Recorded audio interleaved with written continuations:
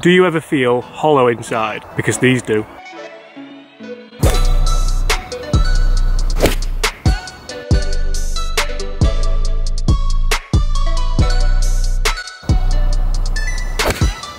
Hi everyone, James Robinson here. If you're new to the channel, make sure you click that subscribe button if you like course vlogs, if you like club reviews, if you like club comparisons, just like this one between the Ping i500 and the TaylorMade P790 iron.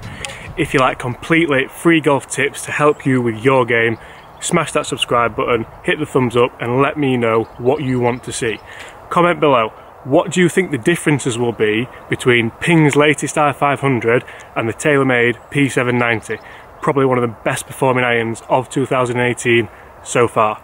So looking at both these irons, they do look incredibly similar. Just like a player's iron, fairly blady, however we look towards the toe of the clubs and you'll see these screws here. These are because the heads are hollow.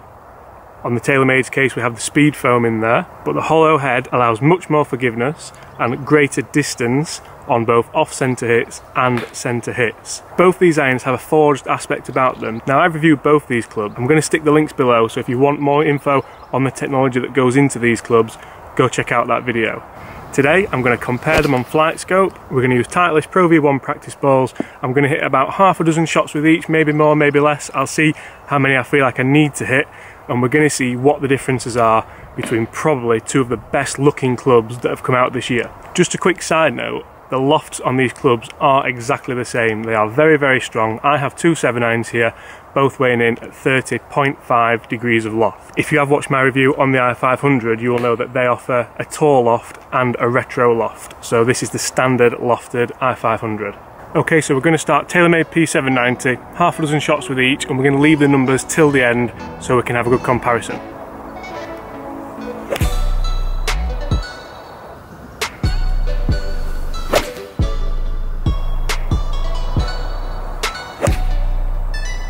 I haven't struck those first three fantastic, but the numbers are still up there.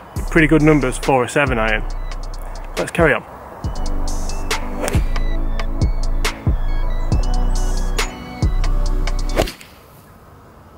That's the one.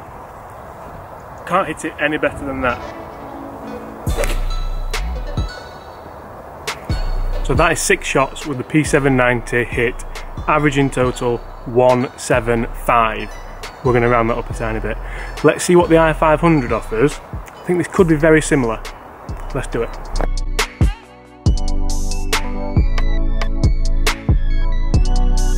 Beautiful looking thing, isn't it?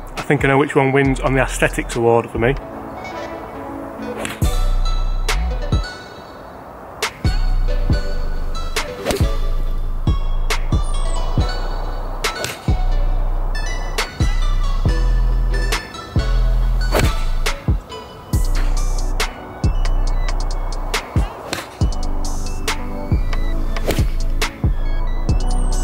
let's talk numbers.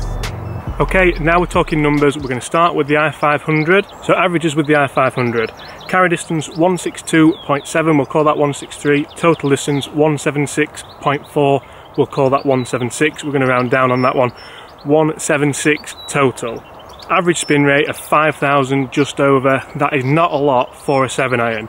What about the P790? P790, average carry distance 162, again we're going to round that down, and total distance 175, so there's a yard in it, one yard in it. Spin rates at 4,800, even lower. Obviously these are all varying on my strikes and my swings. I put some good swings on these, I put some bad swings on these. I find that works well for reviews. If ever I stand there and rip every single shot, I don't feel like I'm giving you what you need to know because nobody rips every single shot. As you can see with the i500, I did have one that got out there at 192. That did feel like the best swing of the day, but it just seemed to fly and fly and fly and fly.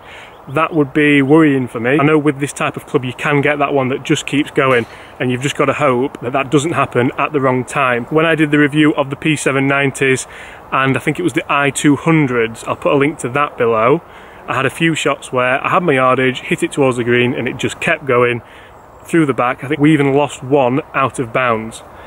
It'd be really interesting to put these against the Titleist TMBs, also a hollow head, really forgiving, strong lofted, long hitting iron, and I found them more consistent than the P790s. If I had to split these clubs up, which one would I choose? Which one would go in my bag? It's almost like picking your favourite child. They're both very, very good golf clubs. For me, the Ping i500 takes it purely on the aesthetics. I like the cleaner looks, I think it looks stunning, and down at the golf ball, it does look that tiny bit sleeker as well. I hope you've enjoyed that comparison between the Ping i500 and the TaylorMade P790. I'm James Robinson.